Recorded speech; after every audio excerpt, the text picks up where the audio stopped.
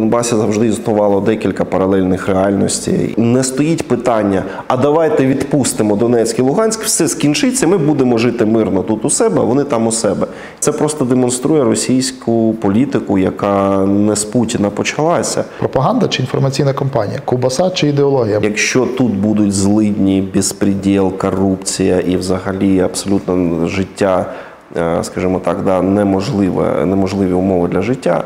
Е, Жодна пропаганда не спрацює. А я займаюся такою роз'яснювальною діяльністю.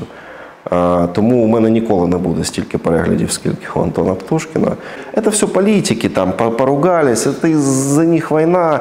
Е, Наша справа працювати, там не задаватися цим, не лізти туди, бо це не наше. Тут в цій ситуації, яка склалася, тут хто завгодно, в принципі, нічого б не зміг зробити.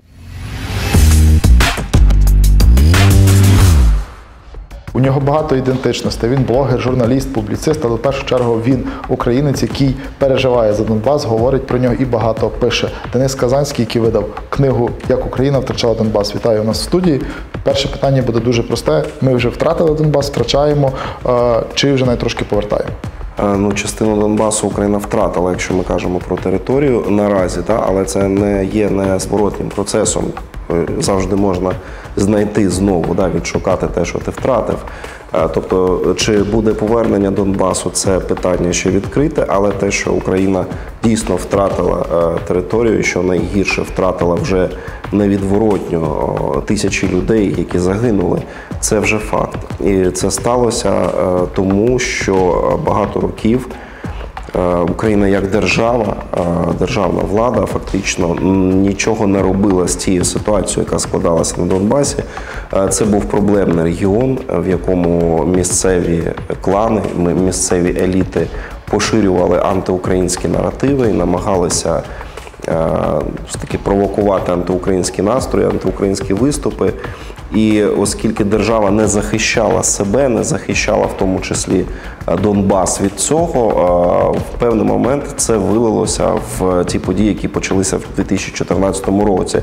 Росія скористалася е, цією ситуацією. Росія знала, куди бити. Да? е, Донбас це було таке е, слабке місце України, да, і Росія чітко вдарила туди, розуміючи, що саме там буде боляче.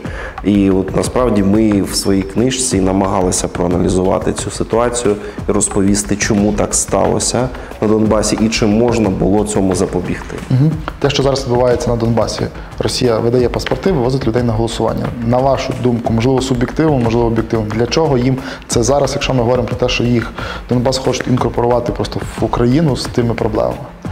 Ну насправді, по-перше, я бачу, що дійсно ситуація змінюється. Можливо, вони вже і зрозуміли, що це, ця ситуація неможлива, да, і Донбас назад впіхнути в Україну, і вони пішли іншим шляхом.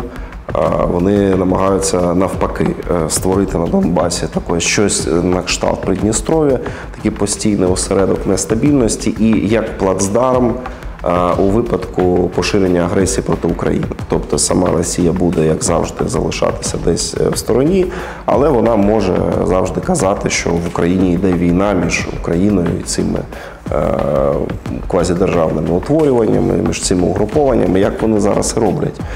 Е, Тому вони, в принципі, можуть е, у них є різні варіанти, як з цим працювати. Є інша версія, що Росія просто заводить е, ці переговори навмисно в глухий кут і підвищує ставки. Е, Тобто, чим більше е, таких епізодів, коли люди отримують паспорти, голосують, Ну, напевно, на думку Кремля, це має, скажімо так, українську владу примусувати, прим- примушувати нервувати і швидше повертати цю територію, бути поступливішою да, на переговорах е, по Донбасу.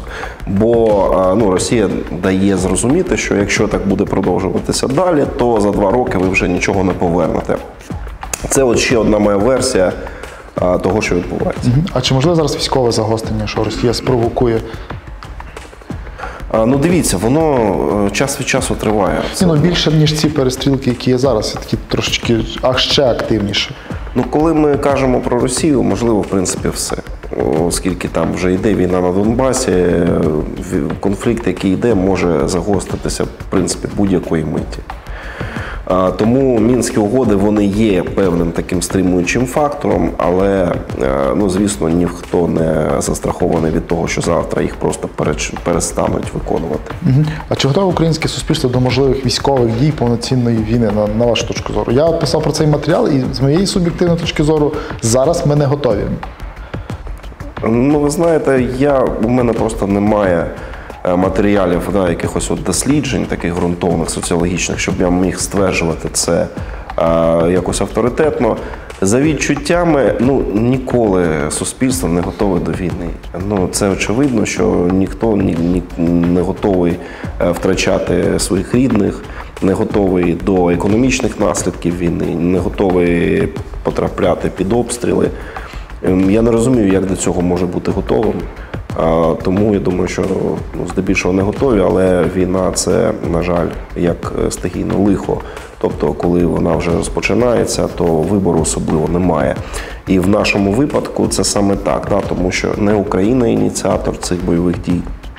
Нам лише що залишається, це захищатися і відповідно протистояти агресії. Тому для нас е, ця зовнішня навала це теж як певно, як стихійне лихо. Тобто ми, на жаль, ні- нічого не можемо з цим зробити.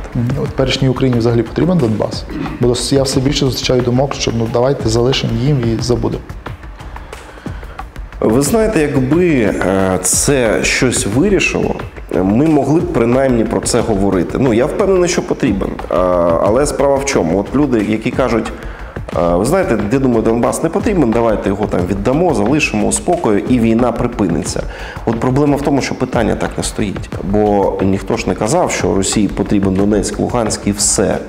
Вони відкрито зазіхають надалі на територію України.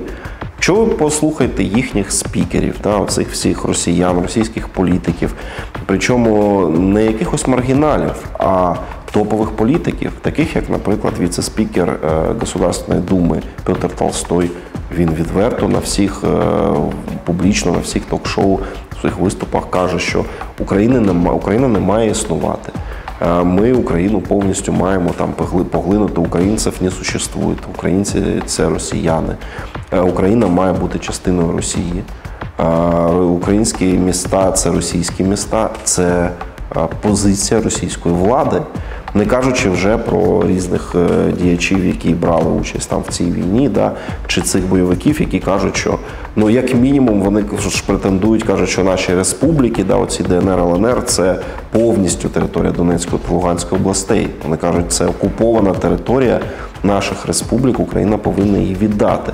Потім позиція, вони ж кажуть, там Новоросія, да, там Одеса, Харків, русські города. Це їхня позиція також. Вони постійно про це кажуть.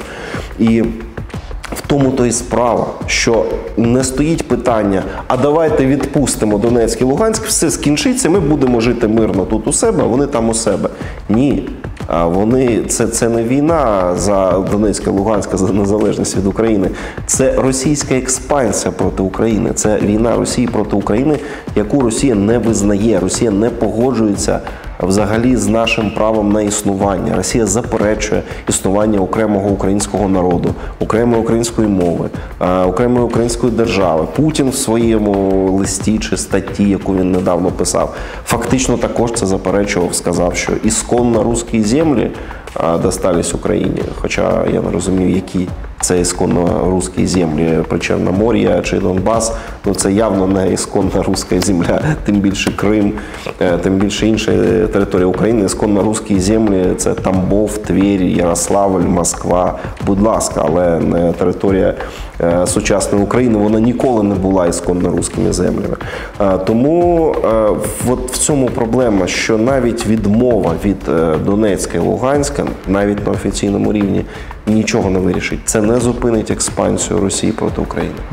Згадали, згадали про не то статтю, не то лист Путіна. На вашу думку, для чого він це робив і чи дало це якийсь ефект? Тому що там доходило до того, що він відмовлявся від частини теперішньої території Росії, пропонуючи повернутися до кордонів, які були раніше. Ну він, е, я думаю, не це мав на увазі. Він е, мав на увазі інше. Він мав на увазі, і це чітко прослідковувалося. Що ну, по-перше, він також заперечує право українського народу на існування. Він фактично пише, що українців не існує, тому що один народ, тобто українці, це росіяни в його розумінні. Е, Він каже, що Україна несправедливо має, має несправедливу територію, отримала російські землі, і Росія не допустить, значить, бо буде їх повертати з таким натяком. Да? Я думаю, що це ну така як програмна стаття. Тобто, ну зрозуміло, що все, що робиться в Росії, передусім робиться з прицілом на своїх громадян, на внутрішнього споживача. І це він робив знов, щоб потішити росіян, щоб е, в них підняти цей імперський дух. е, Щоб е, росіяни підтримували єдину Росію Путіна. е, Ну але і з іншої точки зору, це просто демонструє російську політику, яка не з Путіна почалася. Російська політика це фактично політика невизнання всіх країн, країн, які зараз там утворилися на пострадянському просторі.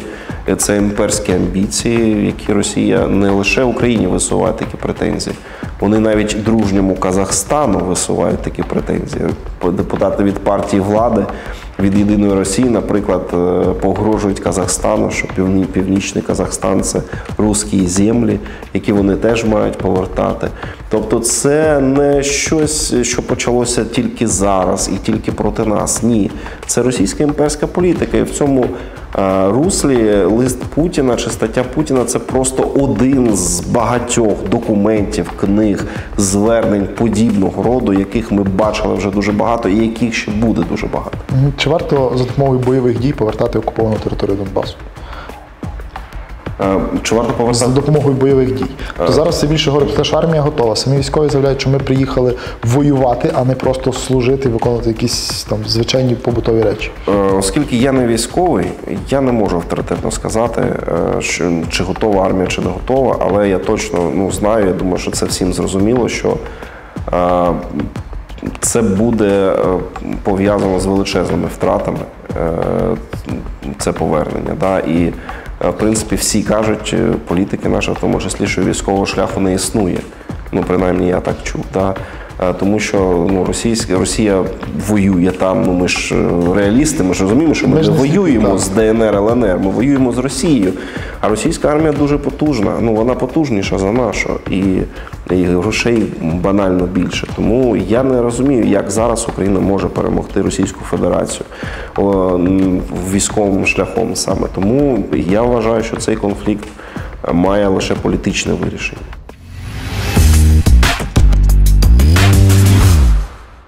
Форум видавців, тому книжка, яка асоціюється з цим політиком. Перший політик Кравчук. Е, Книжка, або можна будь-яку Будь-яку да, книжку, будь-якого так, автора. будь-якого автора. Добре. Так, е, значить, е, цей е, Депеш Моджа. Е, Єфремов, Е, Як Україна втрачала Донбас. Янукович, Е, Так, такі важкі питання, навіть не знаю, на що сказати. Е, Щось там було про Росію, блін, вертиться. Не знаю, давайте Янукович пуст порожнече, він не читає книжок, тому взагалі не будемо. Ні, жодна книжка з ним не асоціюється. Порошенко, Е, Порошенко, е, Чарлі Шоколадна фабрика. Зеленський, Е, Зеленський, так, нього була якась там. А Слуга народу не видавала книжку? ще поки що не було. Не видавала, так. Що там Какатюха писав? Червоний.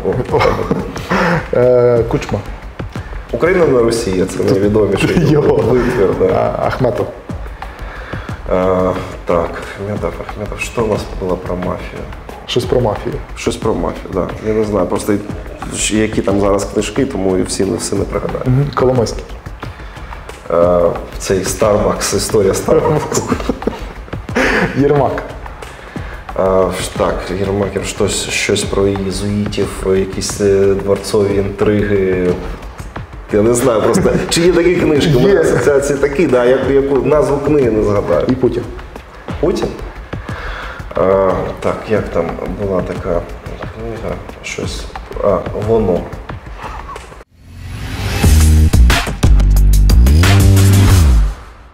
Дуже багато говорять про те, що треба свою пропаганду вести на, тери- на окуповану територію. Мені здається, що неправильно говорити про пропаганду. Скорше треба говорити про якусь інформаційну кампанію, щоб ідеологія виступала проти ковбаси, е, хорошого життя, показується, що тут ми маємо можливості, маємо добре заробити. На вашу точку зору, пропаганда чи інформаційна кампанія? Ковбаса чи ідеологія має бути? Е, Дивіться, насправді, якщо казати про пропаганду, ну я знаю, що це слово має такий негативний зараз підтекст, йому надали, але на мій погляд, пропаганда це не обов'язково щось погане. Ну є пропаганда здорового способу життя, наприклад. Не Ви другий, хто в цьому кріслі це говорить, клятий раціоналіст теж саме казав. Ну ось бачите. Тому я не бачу в цьому нічого поганого, якщо пропаганда пропагує щось добре. Да? Що- можна назвати це як завгодно. Інформаційна кампанія, інформаційна оборона, інформаційна війна, але те, що працювати з людьми потрібно, це обов'язково. І не тільки з людьми, які живуть на тій території. Потрібно працювати з нашими громадянами, які живуть на підконтрольній території, тому що і тут в нас є багато ще досі проблем. Є людей, люди, які в принципі підтримують антиукраїнські наративи і є під впливом російської пропаганди. Треба звертатися до людей в самій Росії. Це теж правда. Ну, ми, ми маємо і до них доносити, що їхня влада діє абсолютно людожерським шляхом, неправильно, нецивілізовано, що це е, шкодить самій Росії. Е, Щоб російське суспільство хоч якось цьому опиралося. У мене немає великих ілюзій щодо російського суспільства. У мене немає великих сподівань на російських громадян. Але все ж таки, якщо це теж є, і ми можемо, там навіть вони в меншості, так, ті, хто можуть виступити проти війни з нами і проти завоювання України, і з ними теж треба говорити. Треба так робити, щоб їх голос було можливо почути. Треба працювати з Білоруссю, о, з громадянами Білорусі, тому що ви ж бачите, що які процеси відбуваються в Білорусі. Тобто це фактично аншлюз. І якщо Росія ствердиться ще і там, то для нас це теж е, велика небезпека. Ми отримаємо ще величезну ділянку кордону з Росією. А, Тому однозначно працювати треба. Але знов таки, ну якщо ми кажемо вже про наших громадян, да, пропаганда чи ковбаса, ви знаєте, жодні, жодна інформаційна кампанія не буде працювати без, е, ну скажімо так, фактажу, без матеріальної підтримки. Скільки не кажи людям, що Україна круто, тут краще жити, не треба відокремлюватися, що наше, скажімо так, майбутнє в Україні. Якщо тут будуть злидні, безпреділ, корупція і взагалі абсолютно життя е, скажімо так, да, неможливе, неможливі умови для життя, е, жодна пропаганда не спрацює.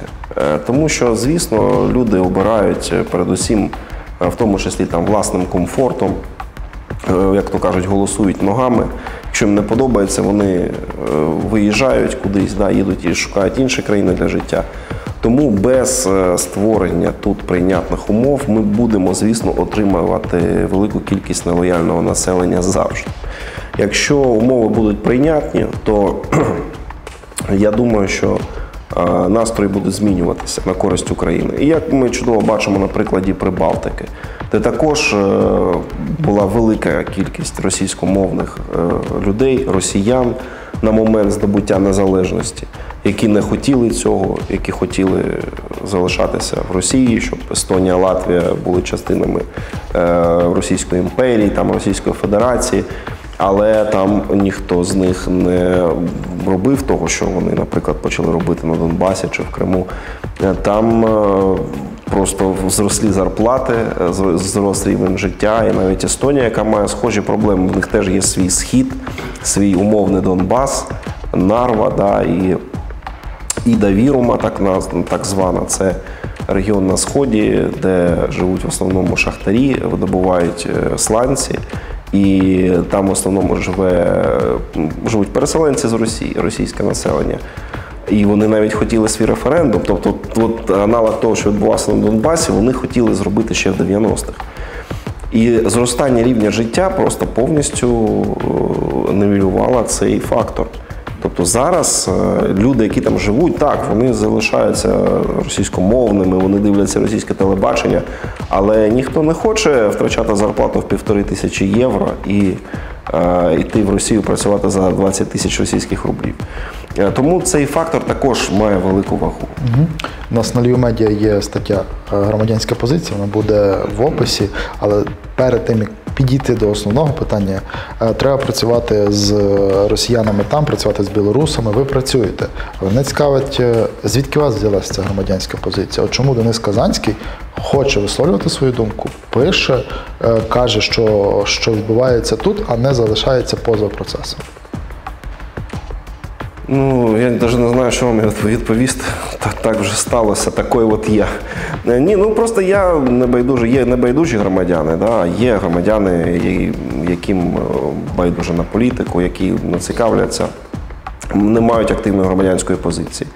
А так сталося, що я якось от, е, був небайдужий і мені не все одно.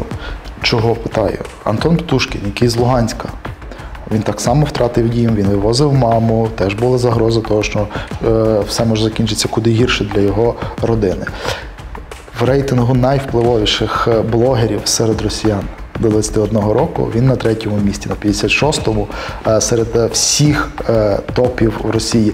Я порахував, що молодь в Росії це приблизно 18% населення, найактивніші, але в нього немає громадянської позиції. Хоча якщо б він, хоча б час від часу говорив, що тут війна, а не еті события, мінялася б ситуація не тільки в Україні, а й там. Як ви ставитесь до таких людей? Чи можливо мали з Антоном про це розмову? Ні, ми не знайомі, але я розумію, чому він так робить. Е, Він популярний блогер, він має рекламні контракти, і я знаю, наскільки мені відомо, що якраз от ті, хто замовляє рекламу в блогерів, їм треба, щоб була позиція політична. Тому що як тільки, як тільки ти стаєш політичним, то ти відсікаєш певну аудиторію. А тому тих людей, які створюють такий розважальний контент, вони мають бути, ну скажімо так, максимально політичними. Всіх люблю, всім здрасте. Тобто, ну Антон е, він дуже популярний, в нього велика кількість переглядів, е, він заробляє на цьому гроші. І, звісно, якщо він буде висловлювати таку свою громадянську позицію антиросійську, він втратить більшу частину аудиторії, тому що він працює, думаю, здебільшого на російську аудиторію. Е, І це все так само, як більшість наших музикантів, наприклад, да, різних е, виконавців. У мене просто інша позиція. Я не створюю розважальний контент. Я це не сприймаю як розвагу. Я вважаю, що я займаюся такою роз'яснювальною діяльністю. Тому у мене ніколи не буде стільки переглядів, скільки у Антона Птушкіна. Е, Ну, я, в принципі, за цим і не женуся. У мене є там своє завдання, своя позиція. Я роблю те, що вважаю за потрібне, і тому в мене немає рекламних контрактів. Я не рекламую там якийсь одяг е, чи засоби гігієни. Е, Я займаюся, в принципі, просто от, е, поширенням тих ідей, е, в які я сам вірю. А чому в українців так багато, так багато українців все поза політикою виводять? Тобто, умовно, навіть ті спортсмени, які останні були, вони не працюють на російській аудиторії, вони не мають контрактів туди, але вони теж намагаються все вивести поза політикою. І українці багато хто підтримує, каже, все поза політикою. Звідки це взялося? Так Чому? легше. Ну тому що коли ти починаєш ставити неприємні запитання, отримуєш неприємні відповіді, е, отримуєш багато негативу, отримуєш е, велику кількість хейтерів, оскільки тільки ти займаєш один табір, відповідно інший табір стає одразу е, твоїми противниками, да, опонентами. Звісно, більшості людей легше. Е, Легше не задаватися питаннями. І дуже часто це ж не тільки стосується відомих людей, це стосується просто звичайних Звичайно, громадян, обивателя. Да. Чому? Тому що ну.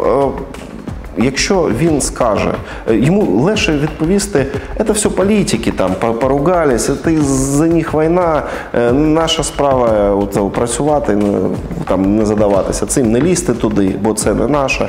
Або якщо як тільки він почне визнавати, що це не так, що справа не в політиках, да, що життя складніше, що від них теж щось залежить. Якщо вони почнуть про це думати, то відповідно треба ж ну, задавати тоді собі питання. Якщо від мене щось залежить, чому я нічого не роблю? Чому я ні- ні- ні- ніяк не дію? Да? А для цього ж треба напружитися, встати. Тому людині легше сказати, від мене нічого не залежить. Я не піду на мітинг. Навіщо мені вставати, одягатися, йти в дощ на мітинг, е, там брати участь в чому? Від мене ж нічого не залежить. Я краще залишусь вдома, подивлюся серіальчик. А чому я маю там бути, наприклад, волонтером, збирати гроші, витрачати свої гроші, допомагати? Від мене ж нічого не залежить, що там моя тисяча гривень. Вона нічого не вирішить, тому я краще її витрачу, піду там проп'ю. Да? Е, І ну, це зручно. Це зручно, це, е, скажімо так, людині дозволяє не брати участь в чому не напружуватися, е, не брати участь е, в процесах, які можуть е, завдавати певні ризики. Да? Адже всі, хто займають там активну громадянську позицію, активну політичну позицію, вони всі ризикують. Ми живемо в Україні, да, ми знаємо, що це може наражатися на різні неприємності. А комусь хтось може так жити. Да. Я чудово це знаю, тому що я теж людина. І іноді в мене теж є соблазн е, кудись не втручатися, да, на якусь тему не розмовляти. А Для вас війна це наслідок політики, війна є політика, чи це взагалі різні речі? Тому що люди теж в своїй більшості, навіть звичайний обиватель, каже, ну війна це є політика і на цьому крапка. Е, Звісно, це продовження політики. Що, що робити з людьми, як пояснити їм, що ну, це не одне те ж, це продовження, це вже наслідок того, як політики вже не домовились, і треба вирішувати все по-іншому, сприймати по-іншому. Ну, ви знаєте, е, я думаю, що це просто треба пояснювати. Як пояснити всіми доступними засобами. Е, Особливо, якщо брати мене, я пояснюю за допомогою там каналу на Ютубі, е, сторінок в соціальних мережах, книжки, яку я написав. Тобто, от які є в мене інструменти, ті інструменти я використовую. Тобто, всі, хто це розуміє, і е, хто має таку можливість, мають е, ці, робити цю, ці пояснення, е, працювати зі своїм оточенням, зі своїми підписниками, зі своїми співгромадянами. Хто як може, в кого який ресурс. Для чого потрібні мінські домовленості? Чи вони взагалі не потрібні?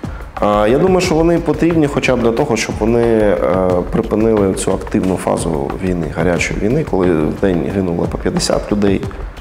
Зараз е, все перетворилося на позиційні бої. На жаль, люди гинуть. Надалі війна не скінчилася. Але все ж таки я вважаю, що це краще, ніж те, що було в е, 2014-2015 роках. Принаймні не е, відбувається цієї активної фази, коли ми втрачали міста, відступали, відбувалися там е, такі події на кшталт Іловайського котла. А, Тому я думаю, що тут певний сенс є. Але чи можна їх виконати? Тут я сумніваюся. Я не бачу наразі, як їх взагалі можна виконати. Тобто, це така як полуміра, на мій погляд. Е, Вона частково е, користь принесла, але повністю проблему вона не вирішить. І повністю вирішити проблему можуть вже ще якісь модернізовані мінські угоди або якісь нові угоди. Угу. У нас були визначені союзники Київ в нормандській четвірці, та але не так давно секретар НБО Данілов заявив, що основними союзниками України є Великобританія, США, Польща, країни Прибалтики. Там не було ні Німеччини, ні Франції, про які він сказав, ну якби не виправдали себе союзники.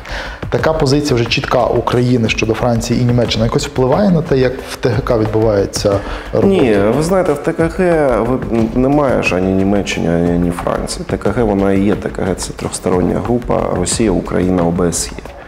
А, Тому там е, це взагалі інша історія. Є нормандський формат, отам, де Німеччина і Франція, але я до нього не дотичний. Тобто це відбувається на іншому рівні. Я не можу там, ну я не знаю да, внутрішньої кухні, що там як відбувається. А ТКГ це орган, який займається саме ну, деталями. Да? Тобто, от про що домовилися там е, зверху великі політики, внизу вже на рівні ТКГ можуть узгодити якось там оце там відкриття КПВВ, обміни, там деталі обмінів, да, все. Але треба розуміти, що на рівні ТКГ не вирішується абсолютно нічого. А, тому о, ми там спілкуємося взагалі без участі Франції, Німеччини і ніяк е, з ними. Я це розумію, просто можливо заявляють, ну от вас же ви заявили, що це вже не ваші союзники, та якісь більші вимоги ставлять, або взагалі кажуть, ну що ж там написано, ці союзники, ви ж їх не називаєте тепер як головними пріоритетами, таким чином. Ні, ну дивіться, це ж думка Данілова, це не офіційна позиція української держави. Тому Він досить мені- часто говорить те, що в президента в думці у нього на язику. Можливо, знаєте, ну мені важко це коментувати, тому що я ну от, не, не, не знаю наскільки це офіційна чи неофіційна позиція. А Данилов це каже, але ну це не означає, що ми відмовляємося якось там від співпраці, що вони перестали бути нашими союзниками. Ні, вони ну, в принципі під якщо брати от на чиєму вони боці, скоріше вони на боці України. Не так, як нам би хотілося, не так активно, не так. Е, я не знаю, наполегливо, але ну вони скоріше на нашому боці. І ми постійно бачимо навіть по заявах російської сторони. От остання заява Лаврова, подивіться, він критикує їх. І він каже, що вони потакають Україні, от Україна не виконує мінські угоди, а Німеччина і Франція захочують це. Тобто він нас об'єднує і виставляє як єдине ціле російська сторона.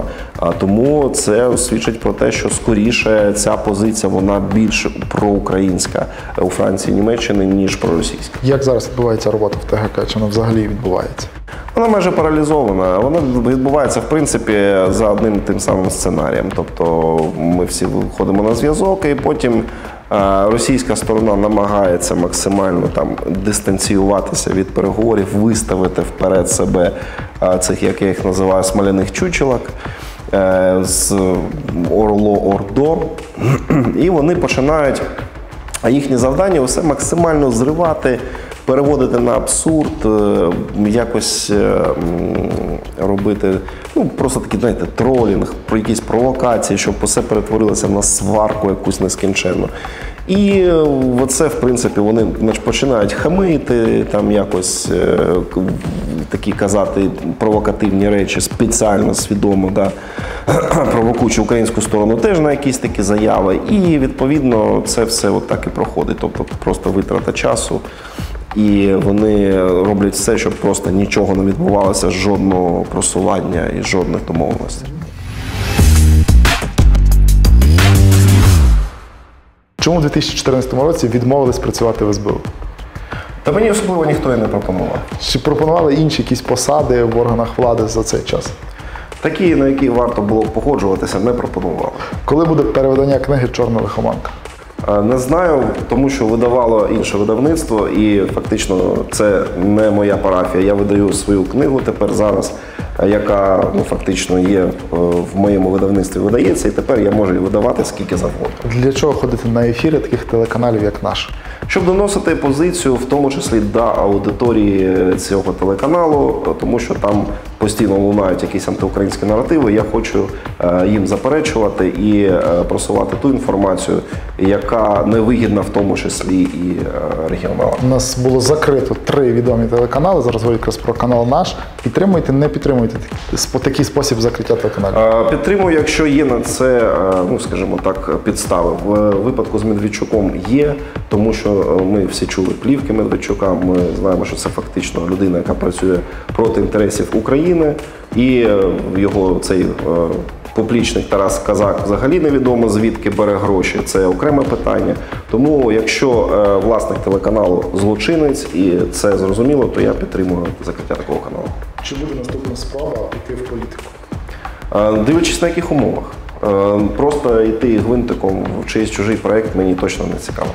Чи можна зараз чітко вказати в подіях на Донбасі, крім Росії, ви не той, той, той, той політик? Окремі політики з партії регіонів, так. Ну можна навіть сказати партія регіонів. Давайте так. Найбільший стереотип про Донбас. Що він тотально антиукраїнський. Якщо коли Донбас деокупують, повернетесь до Донецька? Так, ну мене не впевнено, що повернуся жити, але е, точно буду повертатися, е, приїжджати. І якщо треба буде працювати, чимось займатися на благо Родини, як то кажуть, то так. Е, Як варто говорити в публічній площині? Все-таки Донбас узагальнюючи чи Донецька і Луганська області? Можна казати і так, і так. Знаєте, я не заморочуюсь. Просто да, ми розуміємо, що є Донбас безпосередньо, де видобувають вугілля. Є більш широке поняття не вся Донецька область, не вся Луганська область це Донбас. Але ну я розумію, що людям е, свойственно спрощувати, і коли кажуть Донбас, мають на увазі схід. Окей, можна казати і так, можна сказати схід України.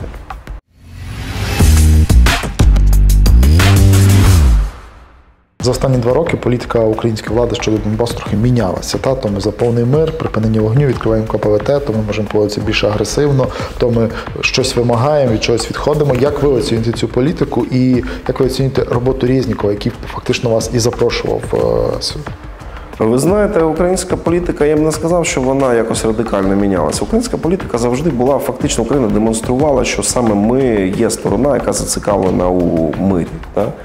І всі ініціативи України, які були, вони ж направлені на це. Україна демонструє, що ми. е, По-перше, ну, готові робити щось для населення Донбасу, хоча там Україна постійно звинувачує, що Україна ненавидить, обстрілює. Але знов таки, от взяти ті ж самі КПВВ. Ще в 2018 році Україна повністю там готова була відкрити КПВВ Золоте. Тобто ми побудували в Луганській області, там, де можуть проїжджати автівки. З нашого боку все побудовано, воно готове, відкрите. А вони зі свого боку не відкривають. Так само в щастя. Це новий фактично КПВВ, в якому минулому році приїжджав президент. Він відкрив навіть е, там такий великий ЦНАП. Це фактично такий сучасний центр надання адміністративних послуг, де люди можуть легко отримати документи, поміняти все, що їм потрібно.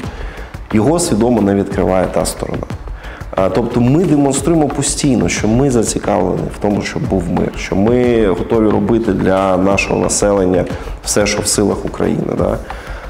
Відповідно, та сторона вона постійно демонструє якийсь е, от такий тролинг, агресію, КПВВ не відкриваємо, ті, що були, позакривали. Тобто у них така політика, і тут Україна, ну а що нам, умовно кажучи, залишається робити? Ми постійно демонструємо, що ми готові на дійсно залагодження цього конфлікту, але оскільки та сторона не готова і вона вдається до обстрілів там і агресивних заяв, Україні доводиться реагувати, і ми також е, там вдаємося до відповідних обстрілів і е, до протистояння, до стримування цієї, агресії. Як ви оціните роботу Резнікова і його команди? Віце-прем'єр з плані реінтеграції повних територій. Е, Ви знаєте, ну от щодо реінтеграції, я думаю, що він в принципі робить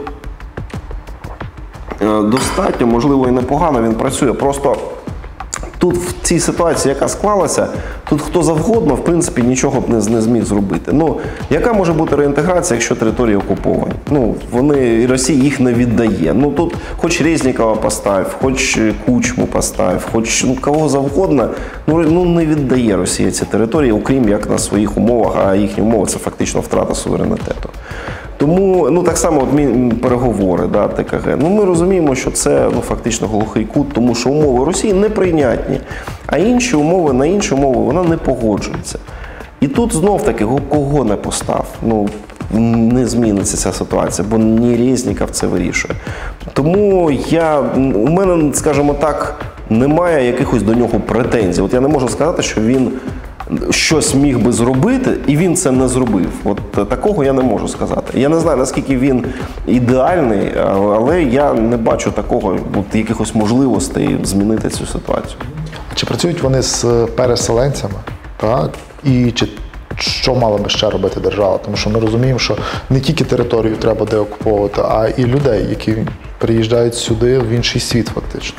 Так, ви знаєте, на мій погляд, от чого, чого не робить Україна, що б могла робити Україна, це, звісно, залучення людей, переселенців і е, допомога переселенцям тут е, ставати, ну скажімо так, отримувати житло і повністю вживатися в, в нормальне життя.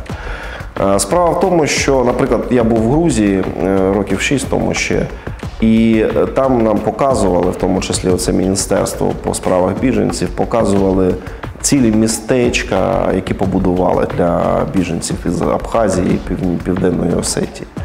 І там дійсно побудували селища, побудували будинки, і там тисячі людей отримали житло. А в Україні такого немає. Тобто у нас роздається, але певна кількість житла, але це дуже небагато. І оце проблема. Через цю проблему я думаю, що багато людей не виїжджає з цієї території сюди, навіть ті, хто підтримують Україну, їм нема куди їхати. Оце я вважаю те, що мала б робити Україна. От е, це цього недостатньо. Саме залучати звідти передусім молодь. Е, людей з цієї території. Інакше щось зробити для, тих, хто там, якось вплинути на те, що відбувається на неконтрольованих територіях, ми не можемо. Я періодично дивлюсь блогерів з Донецька або Луганська, ну більше з Донецька, бо там є, е, є кілька акаунтів TikTok, та, і в мене складається що там вже немає людей, які підтримують Україну, які хочуть сюди вернутися. Ні, ну так і Я розумію, що це вони таке не можуть так. Да. А дивіться, е, ну принаймні вони точно є, тому що деякі з них мені пишуть е, там особисті повідомлення. Все, я підтримую там, скажімо так, зв'язок з людьми, які знаходяться з того боку. Е, Деякі пишуть в соцмережі, ну звісно, під не під своїми іменами, але треба розуміти, що там ніхто не буде відверто зараз сказати, що він хоче в Україну виступати якось на підтримку України, тому що це просто небезпечно. Тому чекати від людей, що там будуть якісь відкриті виступи е, з точки зору з позиції да, українського патріотизму. е, Такого не варто очікувати. Всі, хто за Україну, там у глибокому підпіллі. Угу. А, ваш блог понад дві е, сотні тисяч підписників. Хто ваша аудиторія? Ютуб дозволяє подивитися, хто дивиться. Вік, Ну. Насправді різна аудиторія, в основному це українська аудиторія. Є з непідконтрольної території, є з підконтрольної, тобто з усієї України. Е, росіяни, білоруси, який відсоток людей з Росії Білорусі? Невеликий, насправді невеликий. Росіян е, до 10%. Це досить мало, враховуючи, що непогано дивляться українські канали інколи. Е, в- в кожного проекту завжди треба оцінити вплив, на що він впливає. На що впливає ваш блог? Я Чи думаю, ви що- хочете впливати на щось? Я думаю, що він впливає на сприйняття того, що відбувається на сході України. А навіть якщо ми побачимо по е, соціологічних опитуваннях, е, все більше людей, в принципі, з, скільки проходить часу, е, вважають, що ну, називають Росію агресором, вважають, що Росія це е, країна, яка напала на Україну, окупувала наші землі, захопила наші землі. Тобто я просто доношу правду і е, ну, про це, тому що це об'єктивна реальність. Да? І намагаюся запобігти брехні деяких українських політиків про це, що це внутрішній конфлікт, гражданська війна, ну ви все це знаєте, які вигаражують Росію, розповідають, що Росія ні при чому, або Росія права. Розповідає про злочини, які Росія робить, в тому числі там на тій території. Розповідає про справжнє ставлення Росії, російських політиків до України. Багато з хто з наших людей, звісно, ні, ніколи про це не дізналися. Да, вони не дивляться, там не читають російські джерела, не дивляться російські канали. Я показую ці заяви російських політиків, доношу їх і. Я думаю, що це дозволяє людям зрозуміти реальну картину. Тобто, що є оця пропагандистська історія про братські народи, там братські держави, а є реальність і заяви, які лунають з боку Росії, зовсім не братні. Е, Це дозволяє все ж таки запобігти цим небезпечним ілюзіям. Коли у нас люди живуть і думають, що там якісь брати, які нам бажають щастя і хочуть якнайкраще. Насправді це не так. Просто щоб не було, знаєте, я сподіваюся, що те, що я доношу, я показую, що сталося з Донбасом, що це позбавить е, мешканців Харкова, Запоріжжя, Одеси інших регіонів України, де були поширені проросійські настрої, що це їх позбавить ілюзій. І насправді я бачу, що це так, тому що я думаю, що зараз би ну, там, в Одесі, в Харкові би люди вже не вийшли з російськими прапорами на підтримку Росії, як вони виходили в 2014 році. Просто подивившись на те, що стало з Донецьком і Луганськом, що Росія зробила так, навіть ті, хто добре, сприятливо ставиться до Росії, вони не хочуть собі такої долі і своїм містам. Сказав війна з ілюзіями. Е, а Вам погрожували за ці відео? Бо ви називаєте свої речі своїми Ну, багато іменами. разів. Да. Просто знаєте, як е, соціальні мережі це ж стерли цю грань. Ну раніше як казав, погроза, да, коли тобі там прийшов лист, підкинули щось, там хтось підійшов на вулиці. Там, да.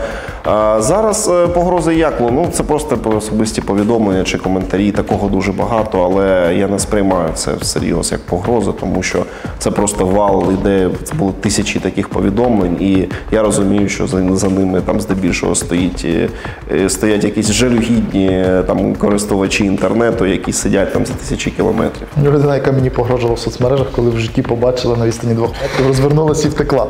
Е, Восьмий рік війни. У нас досі є прихильники Росії. У нас ще минулого року Лукашенка називали ідеальним керівником. Що не так з українцями?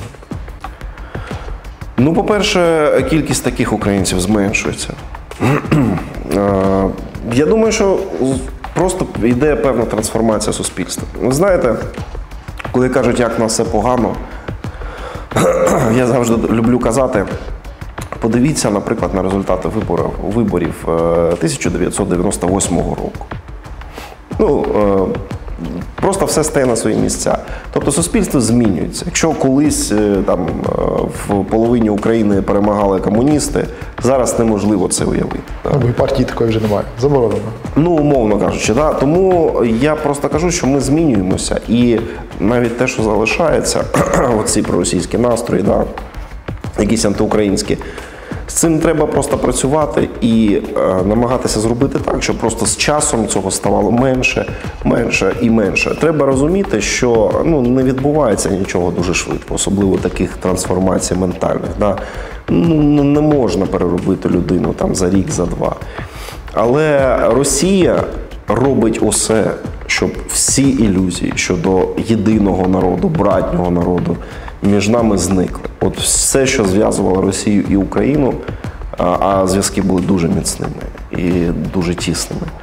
Е, Вони фактично знищуються, вони вже е, великою мірою знищені і продовжують знищуватися от завдяки політики Кремля. Росія з цим при- причудово справляється. В суспільстві Донбас має певні образи, певні стереотипи, які в нас усталені, дуже важко з людей їх вибити. Так? Яким є Донбас, якого ми не бачили, не чули і навіть десь не розуміли е, за час, поки він був наш. Ну, знаєте, це таке багатогранне питання, можна довго розповідати. Було на Донбасі завжди існувало декілька паралельних реальностей, і існував і український Донбас, який, на жаль, не помічали, тому що, ну скажімо так, увесь бізнес, у в основному також там і медіаресурси, політичні ресурси на Донбасі монополізували покидьки. І тому ми постійно чули від донецьких політиків услышьте Донбас, там Київ не слышить Донбас. І вони завжди мали на увазі себе, щоб їх почув. А як ми? Ми ж теж Донбас. От, е, я знав величезну кількість людей, які були завжди за Україну, які не хотіли в Росію, які е, не хотіли нікуди відокремлюватися, які е, займали активну громадянську позицію, займали досягнення в абсолютно різних сферах, як, наприклад, там Петро Антип, який був чудовим, там е, ну, він є і залишається там художником. Е, Тобто є ще і такий Донбас, і він завжди існував. Ну чомусь, от саме цей український Донбас якраз ніхто і не чув. Тому що, як казали, Донбас, то в асоціації були там Янукович, е, Ахметов, бандити, якісь розбірки кримінальні. Да.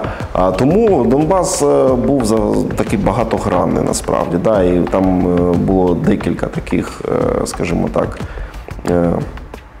Осередків життя культурного, політичного, да, які, можливо, один з одним і не перетиналися, але вони існували різні. Да. І от проблема в тому, я завжди на цьому наголошував, що Україна, ну як держава, да, от Київ, якщо ми там сприймаємо, да, от як в Києві сидить уряд, який має дбати про національні інтереси, все ж було в національних інтересах підтримувати саме український Донбас. Е, підприємців з е, українськими поглядами, да, якихось громадських діячів, тобто, щоб посилити е, саме цей там проукраїнський рух на Донбасі. Замість цього, на, на жаль, завжди ну, фактично віддавали все цим проросійським кланам. Да? Тобто підтримували не тих. Коли відбувалася приватизація і Кучма роздав підприємства, кому він їх роздав? Роздав е, представникам або кримінальних угруповань, які також були пов'язані з Росією, да? або цим колишнім комуністам, червоним директорам, які також були повністю заточені на Росію. А, ні- ніхто ніколи не думав про створення українських еліт на Донбасі. Да? А в цьому і проблема.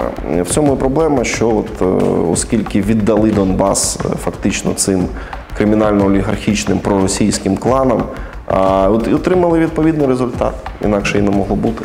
Українські ЗМІ зазвичай реагують е, на якийсь хайп, е, на смерть е, і мало моніторять ситуацію на постійній основі, де б це не було в якійсь сфері. Ну, десь так склалось. Що залишається зараз на Донбасі за межами уваги українських ЗМІ, але варто звертати увагу. Е, Ну, ви знаєте, Донбас же тепер вже не є однорідним, як раніше. Да? Ми, принаймні, якщо ми кажемо про Донбас, треба розуміти, що є е, підконтрольний Донбас і непідконтрольний Донбас. По різні боки лінії розмежування. І там, окрім війни, є ще абсолютно різне життя. Люди живуть в різних реаліях. І знов таки треба тоді розуміти, про який Донбас ми говоримо. Є непідконтрольний Донбас, де е, соціально-економічна ситуація дуже важка. Напевно, на неї звертають менше уваги. Є підконтрольний Донбас, де також є часто дуже проблеми, про які е, треба говорити, щоб вони вирішувалися, і про них мало говорять. Е, Це, наприклад, е, знищення деяких підприємств, да, от дуже так важка економічна ситуація, яку треба змінювати, да, якесь беззаконня. На жаль, до центральних ЗМІ це не завжди доходить такі факти. Вони не завжди про це пишуть, хоча вони, так як ви кажете, часто люблять хайп і негатив, але не завжди навіть негатив, е, от такий, скажімо, те, що відбувається на Донбасі, стає е, ну, скажімо так, темою центральноукраїнських ЗМІ. Тобто навіть негатив, який коїться, можуть не помітити. Це, це, це погано, звісно. Війна міняє всіх, як тих, хто безпосередньо бере участь у боях, кого обстрілювали просто в себе вдома, так і того, хто переїхав. Як війна змінила вас за ці вісім років? Восьмий рік. Е, Ну, дійсно змінила повністю, я думаю, повністю змінила життя, тому що я теж виїхав з Донецька, живу в Києві тепер і повністю змінився і коло спілкування, і е, змінилася, ну, скажімо так, специфіка роботи. Якщо на Донбасі я дуже багато досліджував саме життя людей, приїжджав безпосередньо в ці шахтарські селища, спілкувався з людьми, там записував з ними інтерв'ю, досліджував життя. Зараз, звісно, я досліджую життя тієї території, можу досліджувати лише з соціальних мереж, з відкритих джерел. Тобто я став більше працювати в віртуальній площині, ніж в реальній площині. Ну і в цілому, все, вся моя діяльність в основному, да, більша її частина, вона присвячена саме вивченню конфлікту і тим, що пов'язане на, фоні нього. Тобто я е, багато саме, скажімо так, досліджую війну і те, що скажімо, її економічний, соціальний бік та, війни. Тому е, в цьому плані, звісно, якщо до війни всі писали про мир, то тепер багато хто пише про війну. Дякую вам за розмову. Дякую.